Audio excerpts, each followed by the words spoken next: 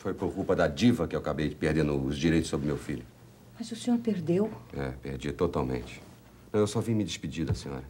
Eu tô de partida, eu vou pra Suécia. Mas para tão longe, seu Horácio. É, eu vou definitivamente, não volto mais. Ah, eu queria deixar um grande abraço pro seu Sebastião também. Tá bom. Eu nada posso fazer pelo senhor. Dona Berenice, a senhora, a senhora sempre foi maravilhosa comigo. Que isso? Eu que tenho que agradecer. Muito obrigado por tudo. Que isso? Olha, eu tinha muita coisa para resolver, mas não podia ir embora sem passar aqui e dar um abraço na senhora. Obrigada. Boa viagem. Mais uma vez, obrigado por tudo. Vai com Deus. Boa viagem, meu filho. E não esqueça da gente, viu? Não, de jeito nenhum. Vê se escreve. Escreva, sim, com certeza. E vai com Deus. Obrigado. Adeus. Adeus. Portanto, a diva é maluca mesmo, um homem tão bom. Passou por mim nem me olhou na cara. Acho que ele ficou louco. Você é que é louca. Diva, por pura burrice, você acaba de perder um casamentão, minha filha. Você é a única da família que não pensa. Ai, nossa, mãe. É isso mesmo. Não sei, você pegou esse jeito de falar dos caipiras, esses pensamentos bobos, pronto. Não tem mais jeito, todo mundo muda, menos você. Continua pensando errado e falando mal. Mãe, eu sempre falei assim, ué. É isso mesmo. Já tá me deixando nervosa. Ah, a senhora tá me pegando no pé. Olha aqui.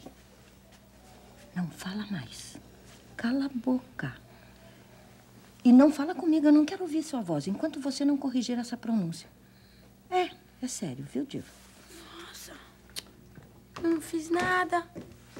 Falar diferente, falar diferente. Como é que eu vou falar diferente assim de uma hora pra outra? Estão implicando comigo, isso sim. Ah, minha própria mãe me renega. Eu não sou burra, eu sou uma coitada. Tudo isso pra mim bancar uma granfina. Ô, Diva, você é burra, hein? Eu já não te ensinei que não é pra mim bancar, é pra eu bancar. Ah, Azelinha.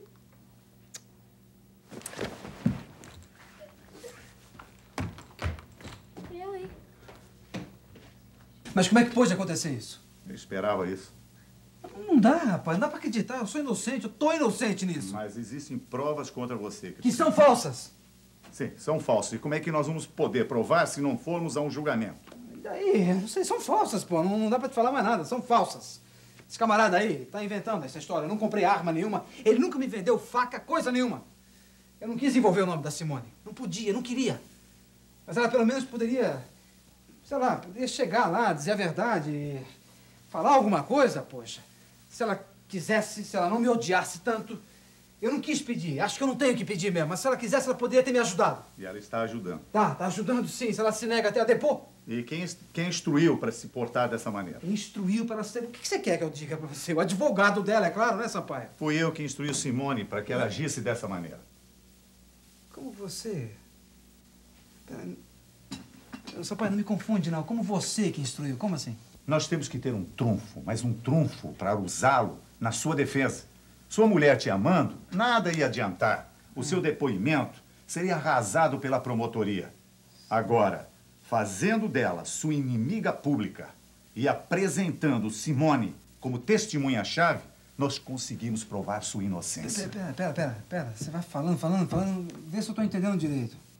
Você quer me dizer com isso tudo que ela tá agindo dessa maneira mais como uma encenação, que ela tá fazendo tudo isso, no fundo, é para me ajudar.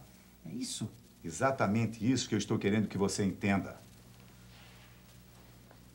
Que a Simone... Você tá falando isso? Sampaio? É sério isso? Sampaio, é bom demais, pô. Eu não sei nem o que eu... Te juro, agora eu não sei o que... O que eu posso te dizer? Que você não tá falando isso só pra me animar, não, né? De jeito nenhum.